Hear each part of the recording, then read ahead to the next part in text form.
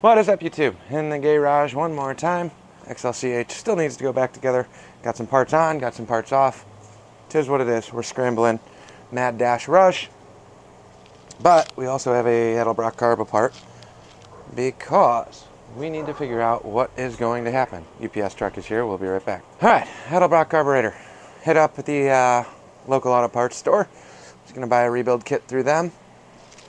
Just a standard 600 CFM Edelbrock. $60, 55 in tax, whatever it was. It was just shy of 60 bucks for some paper gaskets. This carb works really well. Everything else is working perfectly fine. However, Amazon, Jeff Bezos, good old buddy, sent me a discounted set for $20. Probably made in China. Probably not that good. I don't know, actually.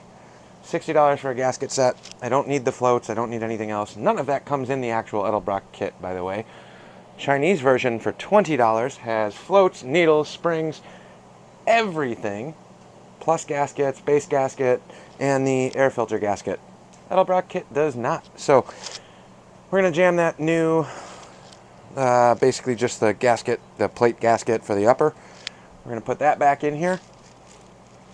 I'll turn you around. We'll drop it on, see if it actually fits. If it doesn't fit, you'll know why it's made in China for $20. If it does fit and everything works, save yourself some money because $60 Edelbrock, really? $60 for your paper gasket set? I'm not paying that.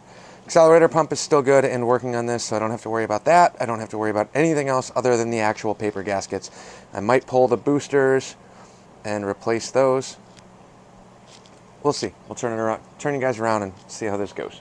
Okay, per usual, we have zero space to work on anything in here. The uh, motorcycle is taking up the entire lift, so we are very short on space, along with several of the other things that I have. So we will grab our Allen key and my ratchet. Like I said, I know all the passages on this are free. I'm not doing a full carb rebuild and cleaning everything out because we don't have to. My least favorite part about Edelbrock carbs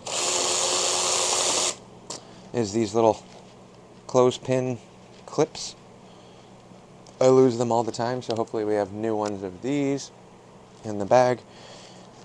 I've used these China gaskets before without issue. But Again, it's just kind of a time and place thing. If something breaks on the side of the road, I'll pay the 60 bucks to fix it. Uh, when I have the option to not do that, 20 bucks will work great for me. So, uh, boosters are out. Like I said, I'm not doing a crazy, crazy thorough rebuild on this. But let's grab that new kit. Made in China. Stamped all over the package. If this works, good. I will say, I've also tried some of the Chinese jets. Those ones are kind of shitty. The metering rod kit that they sell online is not that good. I've also never bought a full Edelbrock one. On my list for this summer once we get back into car season. But the uh, man, new floats too. It's crazy. Floats, needles, jets, all of the fun things. Drop these back in. All I need is these paper gaskets. Metering rods. Like I said, I'm leaving the accelerator pump in because I don't have any issues with that. Not going to replace a bunch of stuff just for the sake of doing it if I don't have to. But here's the old gasket. I don't remember. This might be an Edelbrock one. This might be a Chinese one. I don't really know. But that looks pretty good to me. Old one. New one. So let's drop these in. Only doing the paper gaskets right now because that's all we need. They even give you a little gauge tool.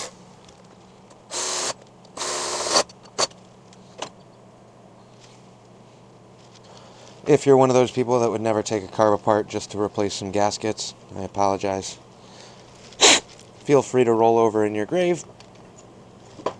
You're not wrong. Most of the time I would try and be more thorough and clear all this out, but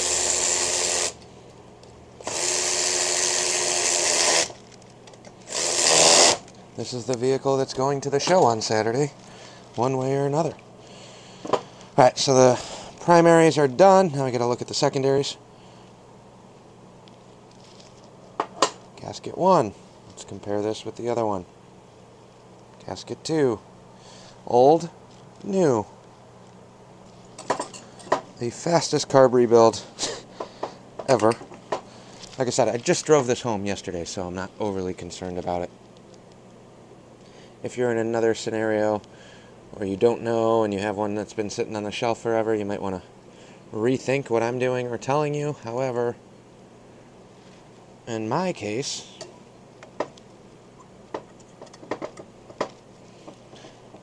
I drove this home. It was working. This is more of a courtesy than anything else. I just lost a carb linkage. Was?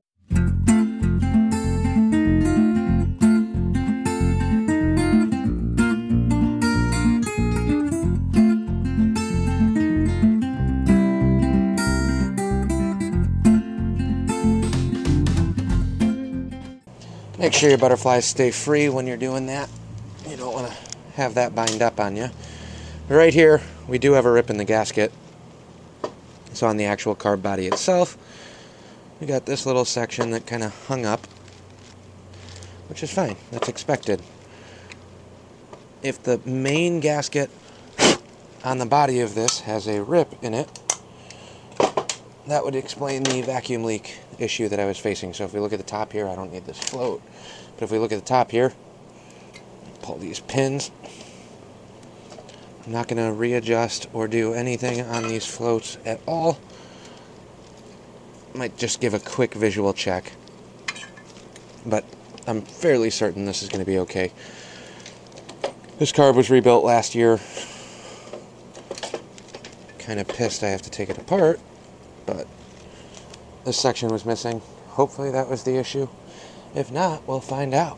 Where did I put the big one? And they give you two. So not only do I have better parts, I also have two parts. One dimple didn't get punched through here very well. Whatever. Relay this out, drop it over the needles. And the needles are going to fight me coming back down here in a minute. I know it.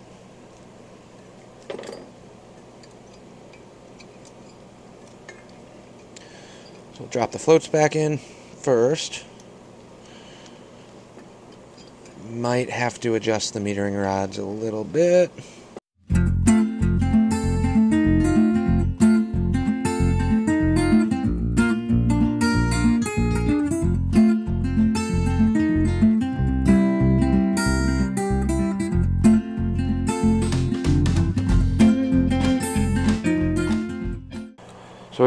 Double check the height here. Let me grab a drill bit.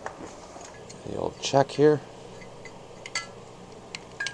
Slightly out of adjustment. This could have been just for me. There we go. Quick drill bit check. I'm not going too crazy on this. Like I said, everything was working. Square these up. Accelerator pump spring is still on the bottom. Gasket is on. See if I can get lucky enough to do this without having to pull the metering rods in my experience. I usually like to try and do that just to make sure everything lines up proper.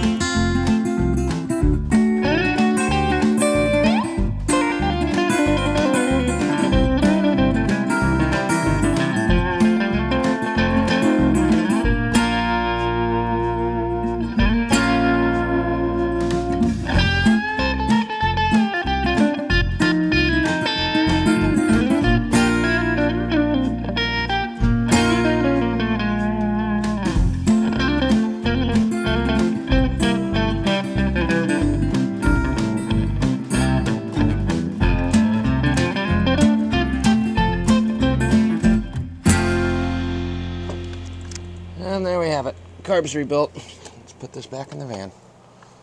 Fun van things. Where we're sitting in here and I almost want the carb facing this way, but we're not going to do that because it's a van and everything's backwards. So motor goes towards the front of the car. jump around to the other side. Got a couple washers and fine thread bolts for the studs. Just gonna get these queued up. Probably should have brought the tools out too, but oh well. Put three of these on. The last one's a little bit goofy because we did do the AOD swap, so I got one. Oh, that's this one actually one stud gets special treatment to hold the TV cable bracket. then the last bracket we got for the TV cable bolts onto the rear section of the carb, like so. Gotta lift that one up a little bit to catch that one on here. And we got linkage. My one complaint with the Lokar parts is the sheathing that they use on their stainless sucks does not hold up after multiple uses. It's an expensive kit too, especially when you're cheap like me. But we'll hand snug these down, and I'll go grab the drill. Quick little torque there. Carb linkage clicks back on.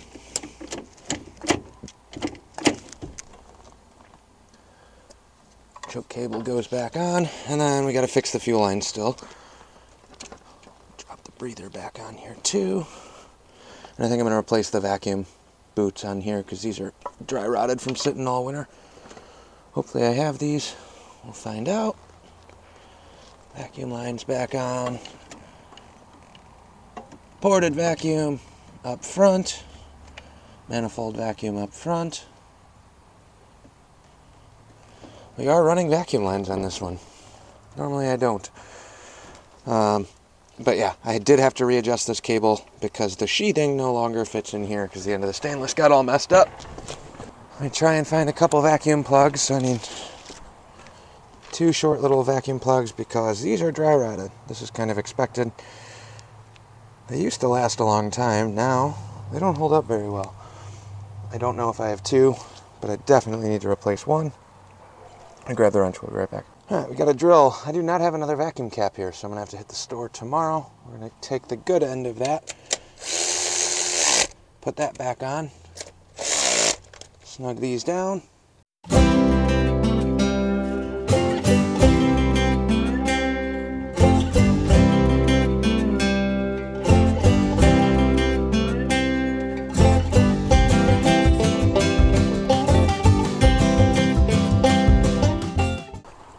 Last corner one where the TV cable mounts gets slightly in the way. So you do got to hit that one with an open end wrench. It's just a carb, so it doesn't need to be crazy, crazy tight. So there's that. Now, the last thing we got to address is this busted fuel line. Probably should replace this section. We don't have time. So what we're to do is make it brand new again. And in order to do that, move this clip back down. I have kind of wanted to go through and fix this. Uh, Alright, so I had to grab a pair of pliers, clean this up.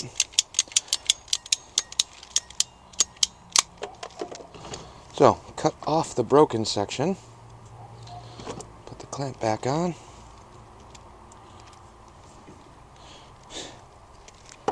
Some people would actually hardline this so it doesn't become a constant issue. Eh,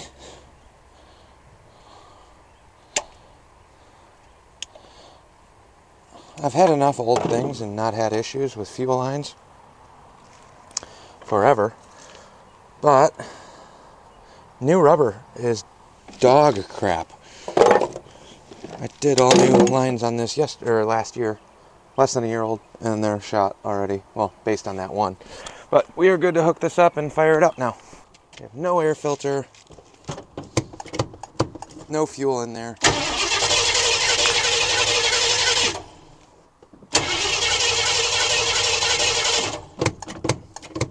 Mechanical pump.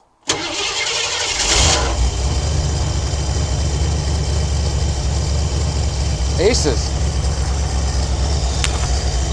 So we're gonna let this warm up for a little while and then I'll come back, wait till the choke turns off. Then we'll retweak the idle screws just a little bit. It's pointless right now because the weather changes so frequently at this current juncture, but that will work. Before I put the air filter back on, I know it's gonna tweak it a little bit, but this will kind of at least get us in the ballpark. Let me just let this run and warm up. We'll be back when it's warm and we'll go through and tweak it. Little half cap is still sealing on vacuum.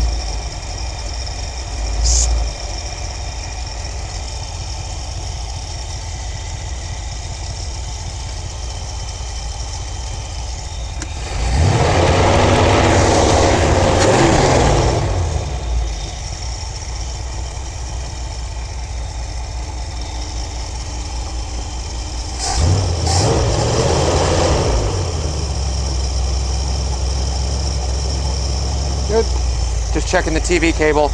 We're at zero right now in park. If I tap the throttle at all, five at eight throttle, goes up to 23 under load. So we're good. We'll just let this warm up. All right, we've been running about 10 minutes, about 50 degrees out here right now. So we're gonna do some quick little idle mixture screw adjustments. I don't know if you guys can see the vacuum gauge on here. It's the one in the middle. I don't have you guys in the middle, that's fine. You don't need to be there. Grab a flathead. We're still a little on the cold side. This thing's really cold blooded, but we're pulling 15 to 16 inches of vacuum right now. So we're gonna go in with these screws.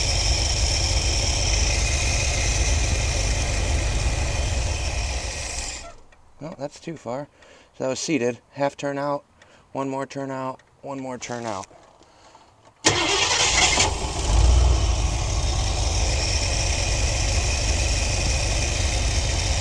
Half, one, half. We're one and a half out. One, one and a half.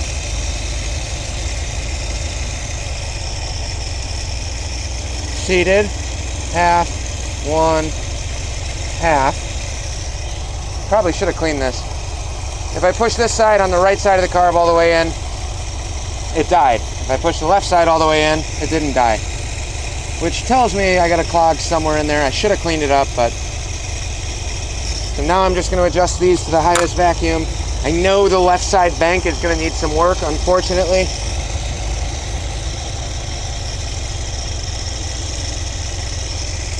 I mean, she doesn't like running low, but so half, one, half, two, two and a half out on the left side, which tells me something's wrong there.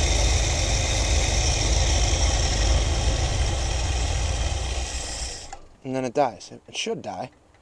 But half, one, half, two. That's two and a half out on the right side, which is actually working better than the left. Still got to tighten that alternator belt at some point, but that's fine.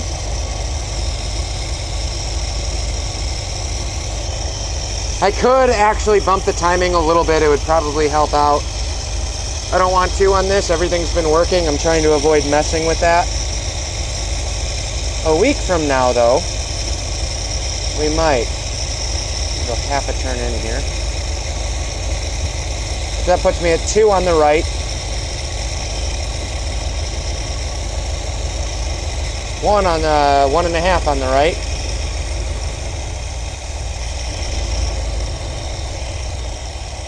One, one. We're idling at about 600 RPMs right now. So I want another half, one and a half turns on this. I never checked this. I think the needle on this left side might actually be messed up. But if I keep coming out and richening up the left bank, now we're up to 17 inches at idle. And we'll try and get a nice steady 17 here. I do want to set this on the leanest side. Now we're down to 16, so we're going to go back out. Flip the throttle every now and again, let it resettle itself.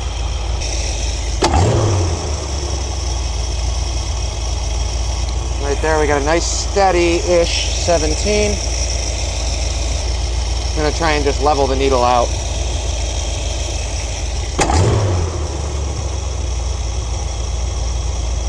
Now we're at a nice solid 17 to 17 and a half.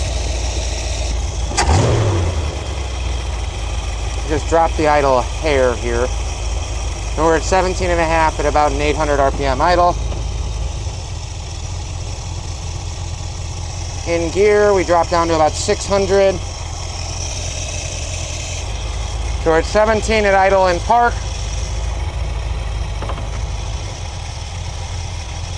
15 and idle.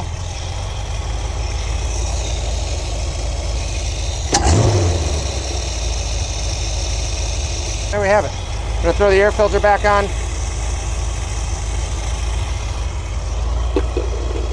Put the doghouse back on and we're gonna take this up to the gas station.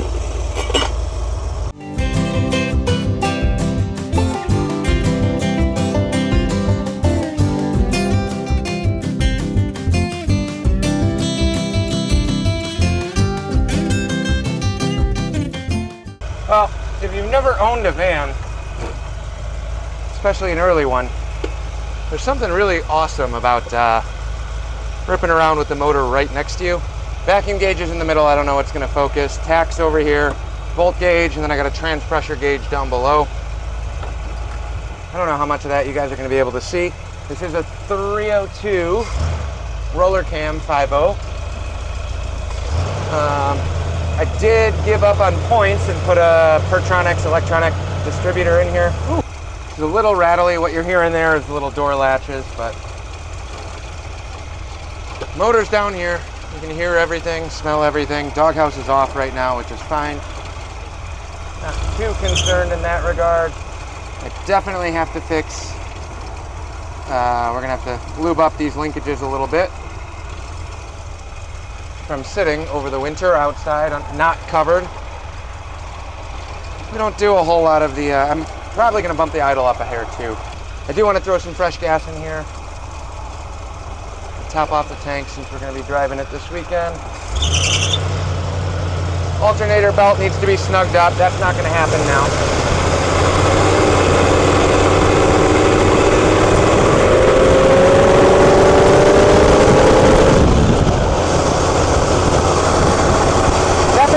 fast.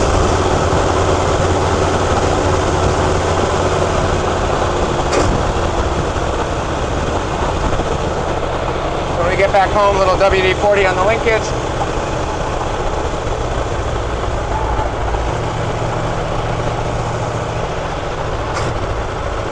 But we'll top her off with some fresh gas. See how that goes. This was supposed to get that Summit 500 carb, so maybe this summer we'll mess around with that. Run in and grab some stuff quick, then we'll come back. Well, retreated back to the garage. Got the van fixed. That's ready to go. It will make it there and back. Kind of a short-winded video at the end there. It got dark. You can't see anything. Today, I'm going to start slapping all this together. Uh, made the executive decision. This is not going to be a starting, running, riding bike going to the show dress it all up, get everything else done. I'm off work next week, so we will get it fired up immediately next week, but we got to start working on the aesthetics, and there's a ton of shop things that we got to plan on loading in for that show. So if you're in Illinois and uh, at the Bad Grease Show in Lombard next this Saturday, come on out, stop by, say hi, catch you on the next one.